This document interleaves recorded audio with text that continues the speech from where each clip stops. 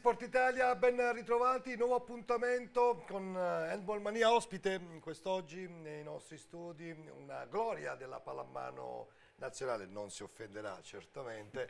Franco Chionchio, grazie Franco per aver te, accolto il nostro invito, insomma curriculum importantissimo da atleta, da allenatore, da dirigente, da uh, consigliere federale, insomma avrà modo e tempo quest'oggi per ripercorrere con noi quella che è una serie avvincente, la serie di finale scudetto. Intanto saluto Matteo Aldamonte, buonasera, già buonasera. pronto in postazione touch per dare un po' le giuste dritte in vista di un fine settimana che si preannuncia estremamente caldo, interessante perché c'è gara 3, la finale, possiamo tranquillamente definirla tale, quella che assegnerà, la partita che assegnerà il titolo italiano, si giocherà ancora a Martina Franca e saranno ancora di fronte la Junior Fasano e il Conversano. Vediamo il primo servizio.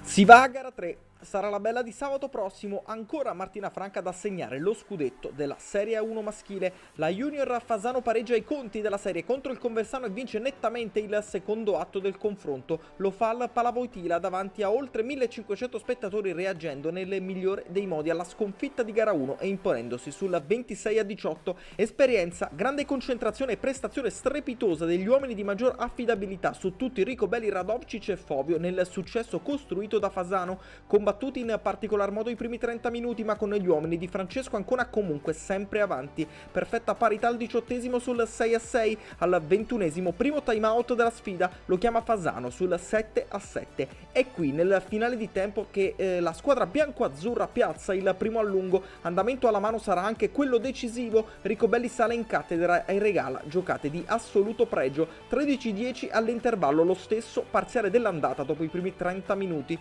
La ripresa però questa volta è sinonimo di intensità perfetta della Junior che mai calerà di concentrazione. Al 36esimo il 14-11, un attimo dopo, siamo al 40esimo, segna Rico Belli per il 17-12. Al 45esimo ingresso in campo e debutto in questa serie finale per Leal, importante in vista di gara 3 ma che non impatterà su una partita che i suoi compagni hanno già ampiamente instradato. C'è spazio per una magia in sottomano di Radovcic, per la standing ovation a Fovio nel cambio con Cedro e per gli applausi finali del pubblico pubblico fasanese. Vince la Junior Fasano 26-18 al Palavoitila. Si va a gara 3 dunque sabato prossimo, ancora lì a Martina Franca in diretta su Sport Italia dalle 20.15 e in live streaming su Palamano TV. Sarà la finalissima, sarà stavolta senza dubbi il sabato dello scudetto.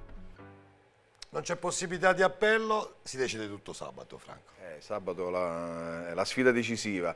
Mm, per me qualche chiaro l'esperienza in queste partite conta tantissimo infatti qualcuno visto... dice addirittura che conta più l'esperienza che il valore tecnico individuale. Ma più che il valore tecnico possiamo bilanciare col, col fatto, fattore fisico. Se hai la fisicità giusta per quella partita l'esperienza è fondamentale, quindi mm. il Conversano secondo me può contrastare sul, sulla freschezza perché a livello di esperienza mm. cede qualcosina al Fasano. Ecco, il Conversano per quello che hai visto in gara 1 e in gara 2 ha a tuo avviso i mezzi tecnici eh, per poter contrastare il Fasano, sì. che mi pare in crescita rispetto alla Secondo me adesso eh, chi è che ha tutto da perdere è il Fasano perché la favorita eh, tutto sommato il Conversano ha fatto un campionato strepitoso, è stata la, la vera rivelazione perché tutti si aspettavano o Pressano o Bolzano, Fasano, eh, Conversano si è trovata meritatamente a fare questa finale. È qualcosa del genere ha dichiarato anche uh, Alessandro Tarafino al teme della partita provando in qualche modo ad allentare la naturale pressione sulla sua squadra e al tempo stesso caricare di pressione la Junior Fasano. Le interviste raccolte nella dopo partita di gara 2.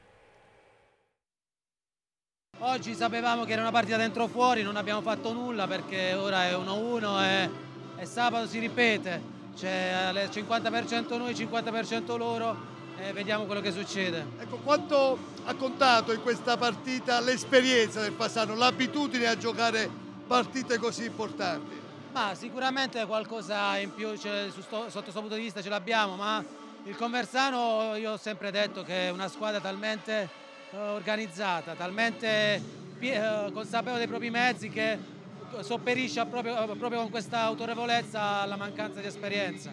Oggi hanno vinto direi meritatamente, non c'è, nessuna discussione su questo. Eh, sì, allora chiaro, 1-1, eh, si, si, fa la gara 3 anche perché, eh, ripeto, per noi è già una grande cosa avere la possibilità di giocarci questa finale. È chiaro che c'era il pensiero di, di chiuderla oggi la serie, eh, non sempre le ciambelle riescono col buco, ora eh, ci rimbocchiamo le maniche, cerchiamo di tirare su un po' il morale perché anche loro ovviamente si aspettavano un finale differente, però eh, c'è un'altra partita da giocare ovviamente, cercheremo di, di onorare il campo come sempre tono un po' dimesso Tarafino. Beh, si aspettava cose in più eh, in gara 2, probabilmente sembrato... sfruttare l'onda lunga del successo. Alessandro in questa intervista mi è sembrato più un giocatore che l'allenatore.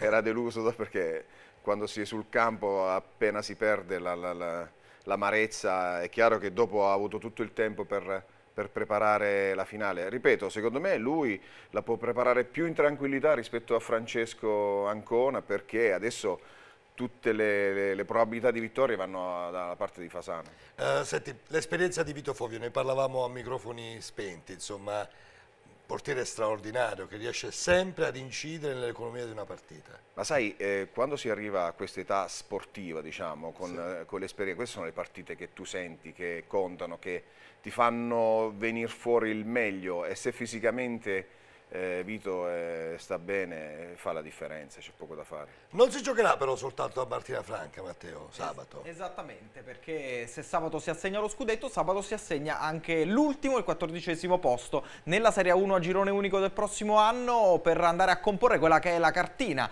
appunto di questa massima serie. Si affrontano Oriago, Cologne e Fondi sul neutro di Borgo San Lorenzo in Toscana per decidere appunto chi tra queste tre avrà la possibilità di giocare nel girone unico della prossima stagione per un campionato che lo lo vediamo con la grafica, ha già dato gran parte a questo punto dei suoi verdetti. Quella sulla destra è eh, ovviamente la cartina in questo momento della eh, Serie 1 maschile con eh, Bolzano, Pressano, Bologna, Cingoli, Conversano, Fasano che sono arrivate dopo la regular season direttamente al girone unico del prossimo anno. La pool promozione ha visto salire Bressanone, Trieste e eh, Siracusa, poi Gaeta, Merano e Cassano Magnago che in ordine temporale sono le ultime invece che hanno ottenuto l'accesso al girone unico della prossima stagione che lo ricordiamo riporterà il campionato appunto a un gruppo limitato, ristretto di 14 squadre, il meglio della pallamano italiana un solo posto a disposizione, c'è l'Oderzo intanto che eh, ha ottenuto la promozione dalla 2, un solo posto a disposizione, Oriago Padova, Cologne e Fondi solo giocano nel prossimo fine settimana a Borgo San Lorenzo. Abbiamo il servizio, no? Vediamo. Sì, abbiamo il servizio per vedere quello che accadrà appunto a Borgo San Lorenzo sabato.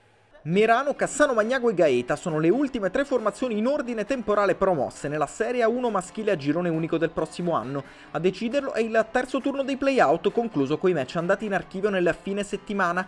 Nel sabato che porta la serie di finale a gara 3 sono le compagini altoatesina, lombarda e laziale a fare festa. Ci saranno anche loro tra le 14 al via il primo settembre nella nuova Serie A1. Decisivi, almeno in due casi su tre, i 60 minuti di ritorno in confronti che erano ancora del tutto aperti. C'è chi una mano sul pass per la promozione in verità ce l'aveva già messa. I diavoli neri del Merano partivano dal più 10 dell'andata contro l'Oriago Padova battuto anche a domicilio in trasferta con un 23-21 che basta per portare gli uomini di Jürgen Prantner dritti nell'elite della pallamano italiana. Come i meranesi arriva dal girone A anche il Cassano Magnago che ha i playout, supera l'esame Cologne nel derby lombardo, sfida combattuta quella in casa dei Franciacortini che la squadra di Davide Kolec vince 21-18 difendendo il più uno del primo atto e confermando un percorso di crescita avviato al termine della regular season e concluso anche senza fantinato con la festa finale nella partita più attesa. Un posto questo ottenuto con merito anche dalla Gaeta arrivato dalla pool playout e capace al terzo turno di eliminare i cugini del Fondi, reduci invece dalla pool promozione. Un pareggio sabato sera 19-19 dopo il 30-26 dell'andata, che significa gioia per i ragazzi di Salvatore Onelli. Ora resta una promozione soltanto da assegnare e alla quale ambiscono Cologne, Oriago Padova e Fondi, una contro l'altra nello spareggio delle 25, 26 e 27 maggio sul neutro di Borgo San Lorenzo. Allora, intanto un tributo alle squadre che hanno centrato l'obiettivo, vale a dire il Cassano Magnago, il Gaeta, il Merano, pronostici rispettati a tuo avviso Franco? Sì, beh, il Merano già nella partita d'andata aveva messo le basi per passare il turno, Eh, molto più complicato è stato sia il derby certo. Lombardo che, Lombardo che Gaeta Fondi è stato la sorpresa secondo me è stato più il Cassano perché aveva vinto solo di uno in casa il Colonia secondo me sarà sicuramente protagonista nel... Ecco, perché ora si affrontano le perdenti. Sì, io penso che se la giocheranno Colonie e Fondi. Il Padova ha fatto un ottimo campionato, però verso la fine ha, ha tirato i remi in barca. Colonie e Fondi secondo me sono... Fondi ha più esperienza, è stata, è sempre, gli manca sempre qualcosa per ottenere il risultato. risultato, però certo. in questo momento eh, l'esperienza pende la sua parte mentre il Colonia è allenata da Cocuzza, fisicamente i ragazzi li vedo, sono più giovani, li vedo molto bene, quindi tra loro due Ecco, quanto è importante per te, eh, che sei insomma una, una colonna della pallamano italiana, lo sei stato per tanti anni, il ritorno al massimo campionato girone unico? Ma io l'ho sempre sostenuto, anche in tempi non sospetti, per me il eh, campionato, il primo campionato deve essere girone unico, punto, perché sono le squadre più forti, se non ci sono disponibilità economiche degli altri non lo fanno, ma il campionato di una federazione deve essere girone unico, si affrontano le migliori e anche i campionati a seguire di A2 e di B eh, si rialzeranno sicuramente di livello perché sinceramente era impensabile fare una Serie A con 27 squadre, non succede nemmeno nel calcio. Quindi. Assolutamente sì. Senti, però all'appello manca una squadra di Teramo, Teramo che è una delle città storiche della pallamano italiana, manca all'appello. Beh, eh, ci ha provato la, la Lions a rimanere, eh, ha superato il primo turno, il secondo ha incontrato forse la squadra più forte del, del raggruppamento, il Merano, come certo. si è certo. visto, ha fatto man bassa di altri, di altri risultati. Eh, adesso ci ritroviamo tutti e due nella stessa città.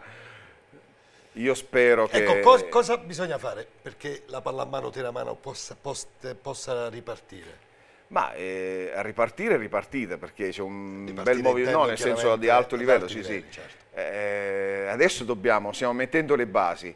È chiaro che il risultato non puoi eh, ottenerlo, io parto dal presupposto che devi costruire la base, non puoi anche se economicamente in quell'anno ti ritrovi con eh, delle disponibilità a comprare giocatori, però se non costruisci sotto non... Eh, noi adesso come NHC ci ritroviamo a fare le finali under 19, finali nazionali, quindi è una grande soddisfazione per me e per i ragazzi e l'80% di questi ragazzi fanno la A2, questa è la base, è chiaro che se adesso trovo un po' di disponibilità, metti qualche tassello e te la giochi per, per, per la bene, 1. Bene, ci fermiamo, ci fermiamo pochi istanti di pausa, alcuni comunicati commerciali e poi ritorniamo di nuovo in studio. Abbiamo ancora tanti argomenti da trattare in compagnia di Franco Conchio e di Matteo Damonte. Sorridi, riaprono le iscrizioni ai centri estivi della FIT per l'estate 2018. Visita il sito www.fitcentriestivi.it e scrivici a centriestivi.federtennis.it oppure chiama il numero 06 87 15 3570.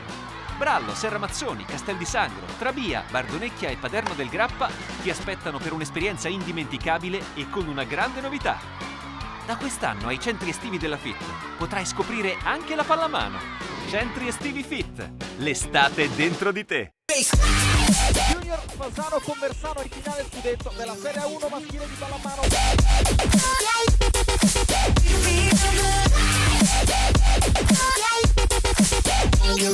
È un grandissimo gol di Guido Ricobelli. Timing perfetto. E questo è un gol pazzesco! Gara 3 assegnerà il 49 scudetto nella storia della pallamano italiana.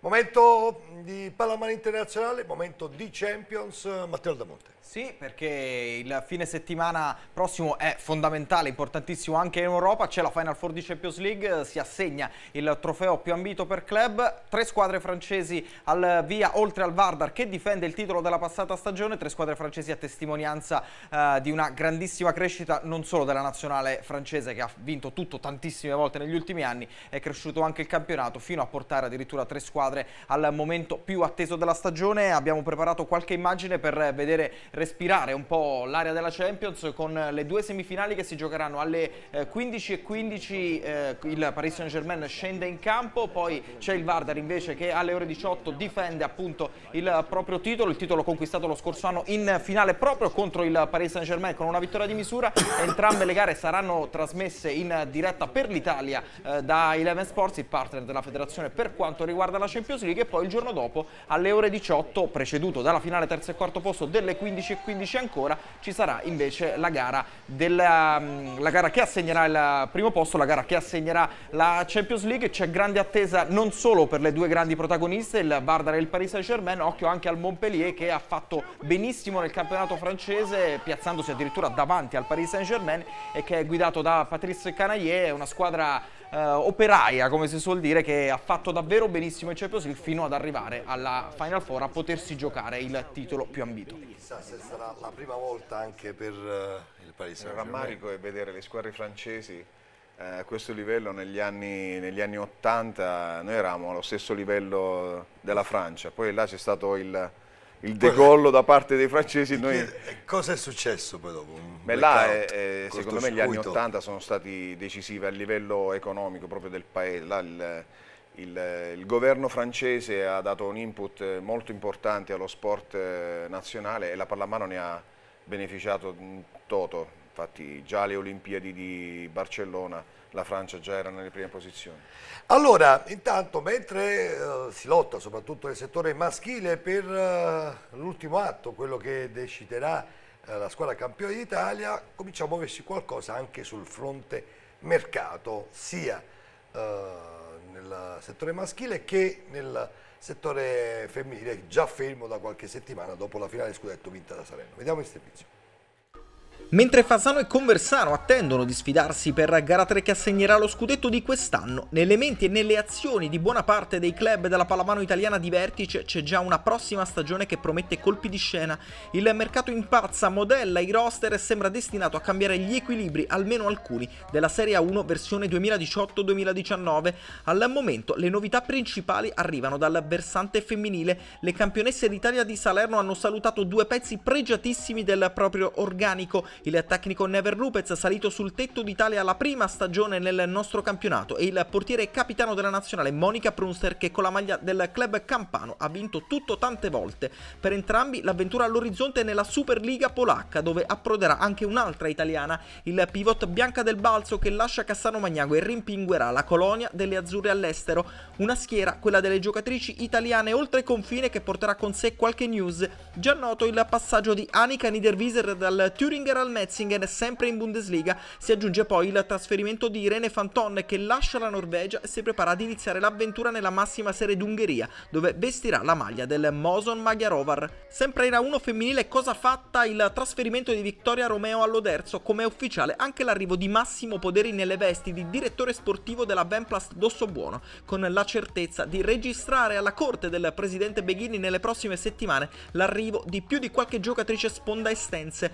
Venendo alla massimo campionato maschile, attenzioni sul campo e sui playoff in addirittura d'arrivo, ma nel frattempo qualcosa si muove, in particolar modo in Alto Adige. Bressanone ha già ufficializzato l'arrivo di Sergio Diego Crespo, terzino spagnolo reduce da un'ottima stagione d'esordio nel campionato italiano con la maglia di Trieste. A qualche chilometro di distanza i media altoatesini danno per certo l'addio di Alessandro Fusina alla panchina di Bolzano, dove dovrebbe aggiungersi alla lista dei partenti anche l'ala Gianluca Dapiran, destinato alla Liga Asobal in Spagna e alla Balomano Benindorm, la formazione di Alicante guidata dall'ex CT della nazionale italiana Zupo Equisoan. Per il resto tante voci, al momento poche certezze, tanti anche i pezzi pregiati Stefano Arcieri su tutti, ma occhio anche ad altri due fattori, due variabili da considerare, i giocatori più di qualcuno rimasti fuori dalla massima serie nella lotteria dei playout e poi il capitolo legato al secondo straniero destinato ad aprire scenari nuovi in diverse realtà. Sarà un'estate rovente per una 1 che si preannuncia tra le più entusiasmanti degli ultimi anni. Dunque già tempo anche di pallamano mercato, inevitabile in questi casi, si muove già da tempo il settore femminile e tra poco cominceranno a muoversi i grandi club del settore maschile? Eh? Da domenica. Da domenica, da domenica. Io credo che qualcosa già si stia muovendo, chiaramente, ovviamente, sotto traccia perché c'è una finale e quindi tanti giocatori che sono in qualche modo ehm, impegnati. Il secondo straniero, anche questo è un elemento di novità per la prossima stagione. Ma io addirittura metterei senza, senza, senza limiti. Sì, perché la, eh, la, limitazione che è stata fatta in passato, così si dava spazio ai giovani, non è così, perché solo giocando con giocatori più forti, più bravi, eh, si, ha, si, acquisisce quella tecnica, quell'esperienza. Ricordo l'anno di Conversano, quando sono arrivati i migliori giocatori, oppure eh, i tempi quando io giocavo a Siracusa, che venivano gli olimpionici del, de, delle altre nazioni, eh, tu da loro imparavi tantissimo, la tattica, l'allenarti in un certo modo, perché tu, io adesso ho una squadra giovanile, diciamo, certo. non c'è una persona esperta, no? Eh, loro non hanno un punto di riferimento, non vedono giocatori forti da imitare, quindi secondo me ben venga anche il terzo. Anche, ben venga anche il terzo. Una parentesi sul settore femminile anche ci permette poi di chiudere con l'impegno della nazionale azzurra, il doppio impegno perché settimana prossima le azzurre saranno impegnate prima con la Polonia e poi con il Montenegro. La vittoria di Salerno l'avevi già prevista, era in qualche modo fisiologica rispetto al trend stagionale? Ma eh, ci poteva stare perché sono le due squadre più forti. Un pizzico di delusione è stato il Conversano che vuoi per la forza del Salerno, però mi sembra che ha mollato un po' troppo presto. Cioè, il divario io la vedevo un po' più equilibrata la partita. Ti, aspetti, ti aspetti, una stagione al femminile un tantino più equilibrata? Beh sì, ma già i movimenti, le squadre che sono salite, le squadre che, sono, che si rinforzeranno, io penso che invece di giocarselo a due come è successo, spero anche per il movimento di, di, di arrivare a 4-5 squadre. Soprattutto in prospettiva azzurra, doppio impegno, due gare che dal punto di vista della classifica non hanno grandi significati, quelli contro Polonia e Montenegro, ma che potranno servire tanto stimolante. alla preparazione per i giochi del Mediterraneo. No? Sì, stimolante con squadre molto più dotate, le ragazze sicuramente troveranno la, voglia di, di lottare, di far vedere che non meritavano de, de, degli scarti così ed è giusto come detto che è una buona preparazione per i giochi del Mediterraneo. Assolutamente sì. Matteo, qual è la roadmap delle azzurre per le prossime settimane. L'Italia arriverà il prossimo 28 maggio a Montesilvano dove scenderà in campo per la prima volta, è la prima volta di una nazionale azzurra al Palaroma di Montesilvano, si torna in Abruzzo dopo quattro anni dall'ultima gara contro l'Islanda, sempre femminile di qualificazione ai campionati mondiali, il 31 maggio dunque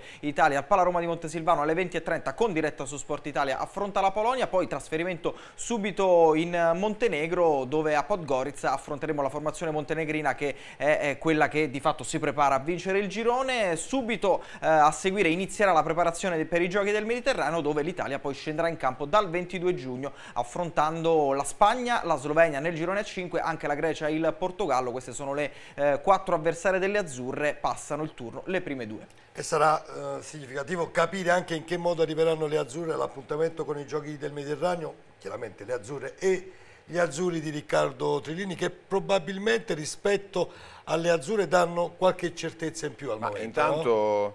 con il buon risultato fatto nel, nei giochi mediterranei de, de, in Turchia siamo stati come seconda, in seconda fascia, non siamo in terza, quindi il girone con Croazia e Algeria passano le prime due, io penso che le possibilità per passare il turno ci sono. Ecco, come, come giudichi dalla tua esperienza la nuova nazionale guidata da Riccardo Trillini anche sulla base, non so, delle gare viste a Bolzano, che insomma è un riferimento abbastanza... Ma la cosa positiva è che dà eh, spazio a, a, Riccardo di preparare per bene la squadra, di fare tanti stage, di fare tante amiche, quelle sono fondamentali per, eh, per il proseguo. Poi eh, mi fa piacere che ci sono tanti ragazzi che, che, io ho portato a suo tempo come esperti, stabellini, eh, che, anche arcieri, insomma, sono tutti ragazzi ad pronti ad aiutare i più, più, esperti. È chiaro che Riccardo è appena arrivato, il, i giochi del Mediterraneo sono un bel banco di prova perché ti mette nelle condizioni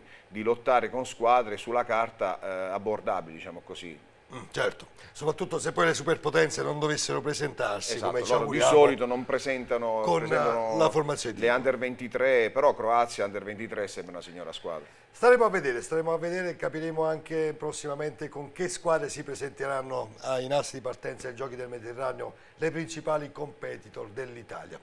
Consigli per uh, il prossimo fine Decisamente, serve una guida perché il palinsesto della settimana è davvero ricco, vediamolo con l'aiuto della grafica per fissare i concetti. Sabato, come detto, c'è una vera e propria buffata di pallamano alle 15.15 e alle 18 le due eh, semifinali di Champions League in, in uh, diretta su Eleven Sports, Nantes contro Paris Saint-Germain e Vardar contro Montpellier. Poi l'attenzione si sposta tutta, ovviamente, su Junior Fasano Conversano, la gara che assegnerà lo scudetto della Serie 1 maschile. 20 e 15 il fischio d'inizio su Sport Italia, canale 60 del digitale terrestre 225 del Buche Sky con collegamento alle ore 20 per il prepartita. Domenica invece facile, ore 18, Eleven Sports la finale di Champions League. Tra parentesi l'ex squadra di Michele Scatara. Esattamente, l'ex squadra di Michele Scatara, l'azzurro che... Di recente vincitore del campionato, eh, Michele Scatara. Sì, sì, esatto. Quindi, con Ebner accoppiata, accoppiata vincente. vincente sì. Accoppiata vincente, è giusto ricordare anche le imprese anche degli italiani fuori, certo. all'estero. Grazie Franco, grazie, grazie per aver eh, partecipato alla nostra trasmissione, mm, ci auguriamo di poterti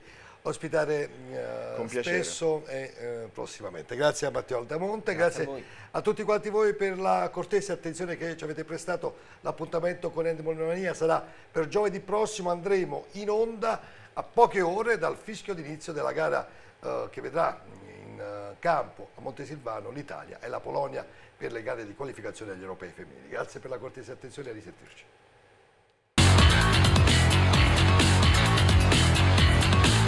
Un